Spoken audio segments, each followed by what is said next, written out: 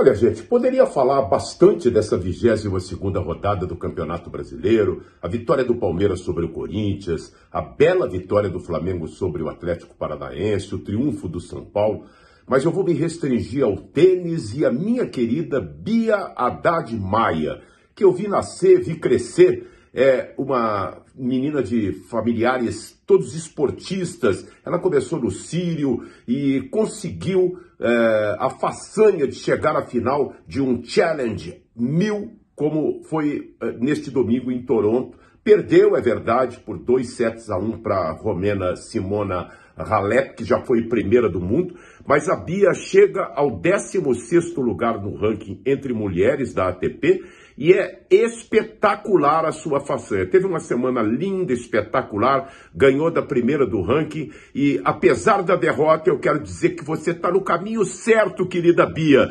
Você é uma vitoriosa, meu amor.